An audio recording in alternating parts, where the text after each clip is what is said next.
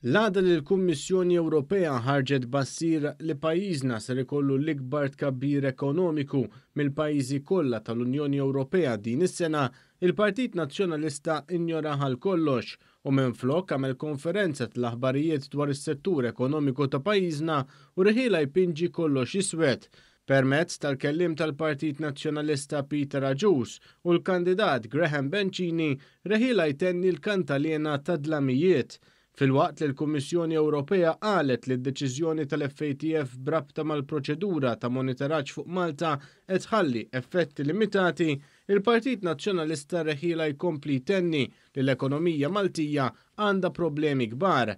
Il-kandidat Graham Bencini spiċċa jtenni li l-Partit Nazzjonalista għandu track record b'saħħtu u li bil-Partit Nazzjonalista fil-Gvern u Bernard Grech Prim Ministru, il-kisbiet ikunu akbar. Aħna għandna track record ta' kreddibilità u reputazzjoni tajba.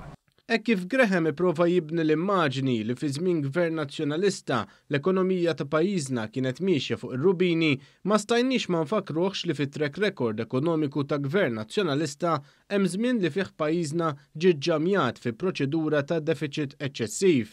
Tebgħa fl-istorja ekonomika ta' pajjiżna li feqgħet il-bużżieqa li ppruvaw jibnu il-kelliema tal-Partit Nazzjonalista u li minflok wieġbu dwarha Evidentament skomdi daru fuq il-ġurnalista mill-kamra tal-aħbarijiet tagħhom sabiex jaħarbu il-mistoqsija. Nistgħu mmorru ferm u ferm aħjar. In-nies ma nesitx snin ta' Gvern Nazzjonalista.